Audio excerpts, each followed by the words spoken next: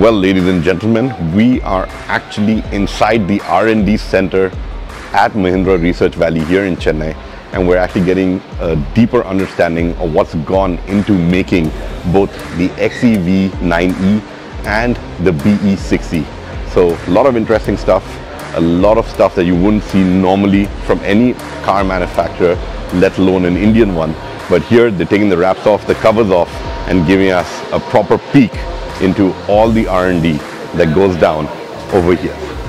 First up, we've got the battery packs that go into the BE6E as well as the XEV9E.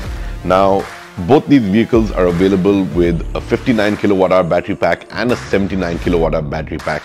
Both battery packs are blade designs and they can withstand an immense amount of heat. Um, Mahindra set them on fire to check them. They've dunked them in water to ensure that no water seeps into the battery. They've driven a truck over it to ensure that it can withstand a ton of pressure. And of course, during their crash test to ensure that these vehicles comply to a five-star safety standard uh, is additional pressure on the battery packs.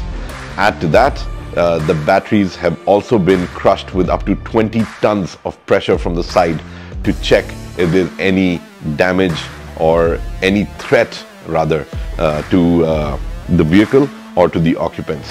So these batteries have been really pushed to the limit uh, to ensure that they comply with all the safety standards as well as ensure that occupants stay safe when it comes to uh, driving an electric vehicle.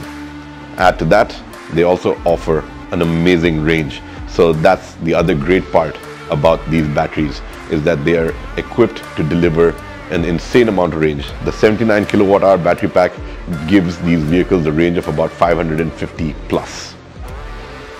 So over here what we're looking at is the complete control modules and all the wiring harnesses that go into the BE6E.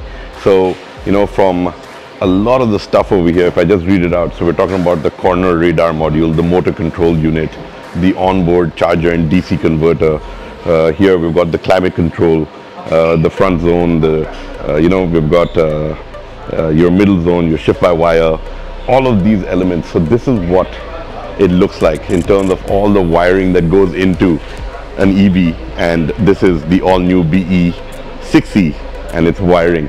So let's move on to the other stations now. And over here we've got the test automation setup for obviously the screens, the infotainment system. As you can see all the speakers are mounted over here. And this is also being done for a range of SUVs from Mahindra. Uh, but I'm guessing that looking at the three screen setup over here, it's for one of the EVs as well. But we'll find out soon enough when we get our hands on the XEV9E as well as the BE6E. So I'm looking out for this screen in one of them or both of them. And here, this is all the lighting setup. So this is for the BE6E, the front lighting, the rear lighting for the same one. And then you've got the XEV9E over here with the front lighting being uh, showcased as well as the rear lighting. So you can see that every component has to go through its own bit of testing, understanding, uh, figuring out just exactly how it works. Even the lighting business is not as easy as it looks. And despite all the testing, sometimes manufacturers get it wrong. But here, I'm hoping that it's all been done right on schedule. So this over here is a very cool bit of equipment. It looks like a very neat simulator and that's exactly what it is. It's currently being used for testing the ADAS systems that uh, Mahindra is going to be utilizing on their BEVs and uh, pretty neat the way it's set up for it to be able to uh, take a simulation and mimic what the ADAS should be doing uh, under various conditions. And this is where the ADAS process of testing starts before it actually goes into an actual vehicle and then gets used over there. These neat contraptions are called vehicle test beds and basically all the actuators that come in from various suppliers are all put together here to create the closed system and then it undergoes testing to make sure that everything is happening together and according to what Mahindra wants it to do and behave in that manner. So it's part of the entire testing process and there are about eight of these in here in this lab for them to run various simulations and various tests on how uh, all these systems work together from different suppliers. Well, clearly, we're not supposed to be doing any of this in here, but we've gotten permission for it. So let's take a look at this room because it's got a lot of interesting stuff happening in here as well.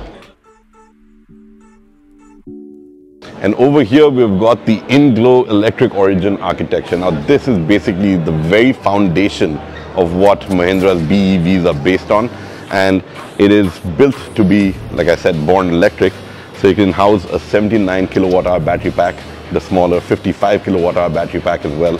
And the dimensions don't change for all the vehicles based on the same platform, which allows Mahindra to use this for scale in terms of utilizing a lot of components uh, such as uh, the suspension, the brake pads, everything can be utilized across different models, bringing in scale into the EV segment, letting them roll out products faster, as well as bringing down costs. So this is actually uh, a part of uh, Mahindra's very own R&D. This is something that they have patented. This is their platform. Uh, if you hear otherwise, those are rumors. And this is what will be the very foundation of this born electric SUV range that we're going to be seeing from Mahindra, starting with the XEV9E and the BE6E, both of which I'll be driving very soon and we're going to have those reviews up on the channel as well. But for now, this was a peek under the skin and what you get at Mahindra, at Mahindra Research Valley when it comes to developing and building out these really cool SUVs that are going to be electric.